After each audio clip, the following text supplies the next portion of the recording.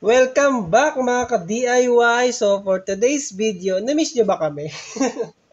uh, medyo nag-ano lang tayo, project break. Uh, congrats nga pala sa winner natin nung nakaraan ng 18650 batteries tsaka soldering iron.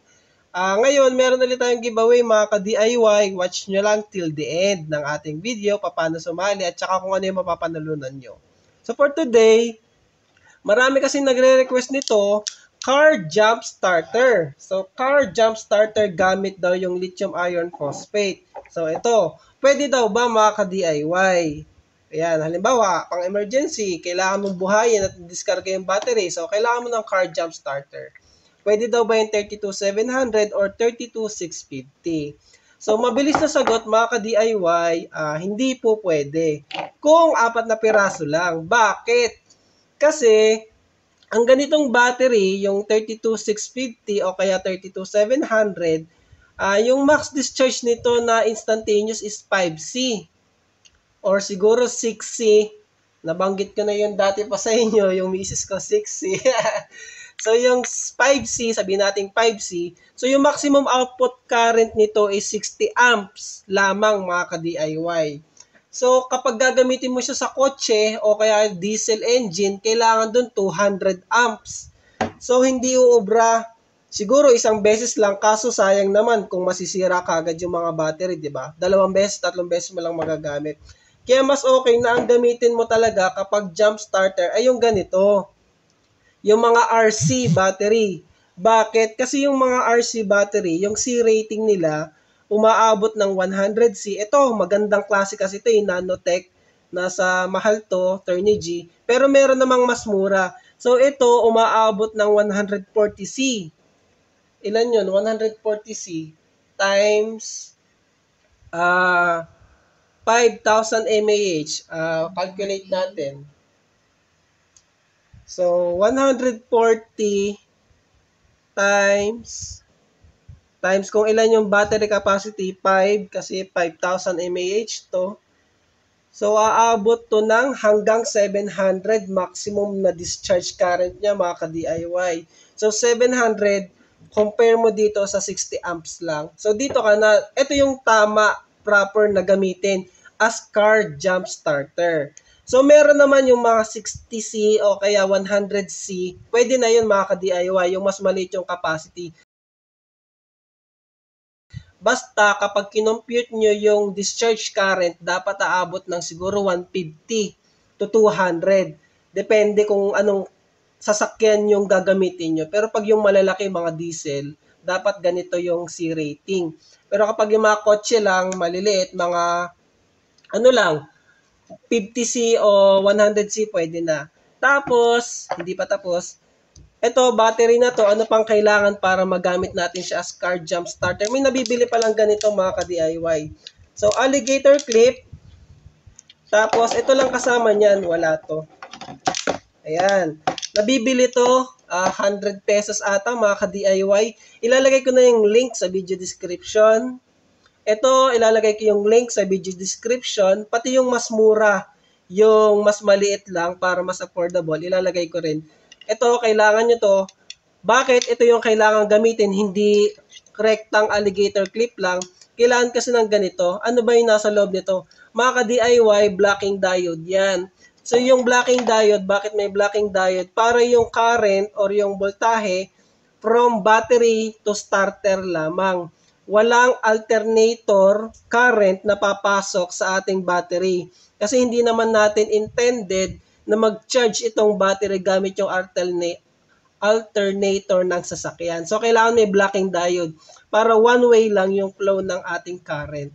Kasi wala tayong ano, charge control ng uh, charging control para sa battery. So, car jump starter naman eh. So, palabas lang dapat. Kailangan to kasi baka masira yung lipo natin. Lithium polymer nga pala yung battery chemistry na to kailangan may blocking diode. Kapag wala, baka masira yung battery mo kasi wala namang balance charging to na built-in eh. Or kahit gumawa ka pa ng ganito, di ba? Dapat may balance uh, charging circuit ka kung walang blocking diode. So, gumawa lang ako ng adapter. Ayan. Kasi XT90 itong connector nito. So, gumawa lang ako ng adapter. Tapos ito, ano tawag dito? Anderson ata. or, ay hindi, EO5, yung connector na to mga ka-DIY. So, ginawan ko lang siya ng adapter. Kasi, ayan, tapos, ikakabit mo lang yung XT60. Ayan, meron ka ng car jump starter na DIY. Mga ka-DIY, meron nga din palang available na ganito, yung power bank style. So, ayan, yung nasa picture na yan. Nabibili naman siya online. Kaya lang ako gumawa ng ganito kasi marami nagtatanong ng DIY. So, paano ko siya gagawin kung DIY? Hindi ako gagamit nito. Ito ang gagawin ko kung gagawa ko ng DIY na car jump starter. Kasi kung ito, kailangan ko madami. 100 AH. Ay, hindi. Mga 50 AH siguro. O, 50 AH, ito, ilan lang to? 6 AH. Adi, ang dami ng parallel mga ka-DIY. Kasi kailangan mo ng mataas na current discharge. So, ayun. Ipakita ko na yung testing nito mga ka-DIY. Ayan, kapatid ko nga pala at saka yung papa ko yung nag-testing. So, panoorin nyo na lang, makikita nyo gamit nila ito, mga ka-DIY. So, siya nga pala, kung hindi ka pa nagsusubscribe sa ating YouTube channel, subscribe ka na. So, ito na, yung ating testing. Oh, sige pa. Testing. Obra. One click. ah, pang emergency case po. Emergency case. Negative. Tapos rekta sa positive yung kabila. Yan, wala to, wala to. Yung kable ng positive, iipitin ng positive, gamit to. At yung negative, negative ng battery, positive, positive na wire. Yan. Negative. Ayan po, one click. Patayin nyo ulit pa. Isa pa, subok lang. Toyota Revo. O, sige pa. Testing. One click. Okay.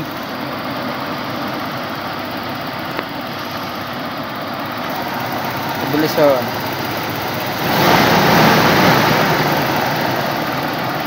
One click.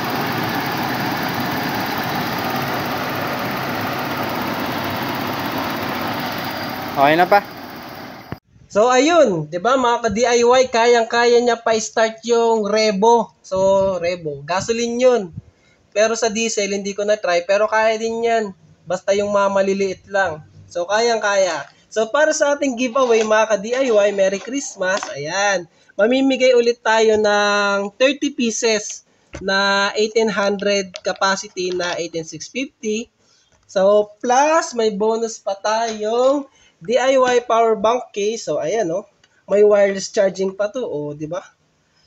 So, ang mananalo, mananalo ng 30 pieces na 18650 at saka itong DIY uh, power bank case. Nasaan na kaya yung tornilyo nito? Yun lang, nawawala yung tornilyo.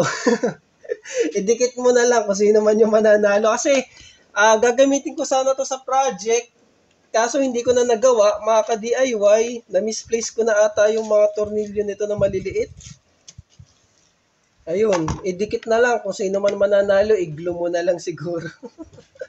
so, paano manalo mga ka-DIY? Siyempre, i-like niyo yung video, subscribe, and then comment your Facebook name. Wag pala link kasi nabablock yun ni YouTube mga ka-DIY. So, i-comment nyo lang ulit yung uh, Facebook profile name nyo. And then, itong video na to, i-share nyo dapat in public. Kasi yung iba, sinishare nila private o kaya friends only. So, pag sinerch po namin yun, hindi namin kayo makikita. Hindi natin mabe-verify yung nanalo. So, ulitin ko, like, subscribe, and comment down below your Facebook profile name. And then, i-share nyo tong video na to in public.